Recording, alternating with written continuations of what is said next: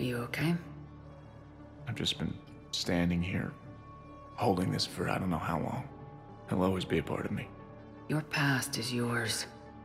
No one can take that away.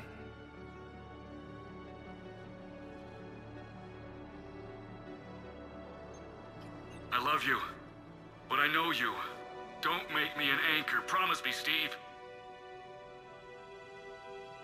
Goodbye, Robert.